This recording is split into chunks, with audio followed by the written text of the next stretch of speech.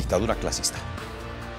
El informe que nosotros habíamos recibido en la FAN es de que prácticamente no se ha dejado participar a todas las instituciones representativas de Santa Cruz.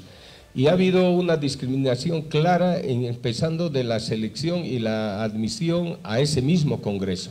Yo creo que ya no tienen ningún tipo de moral para poder hablar eh, de, su, de que están viviendo en una dictadura, que viva la democracia, cuando ellos son los primeros y dan el ejemplo de que cómo se viven dictaduras clasistas en la ciudad de Santa Cruz de la Sierra. Lamentamos mucho que eso haya ocurrido, estamos seguros que las organizaciones sociales representativas, instituciones representativas de Santa Cruz no van a dejar pasar esto de lado.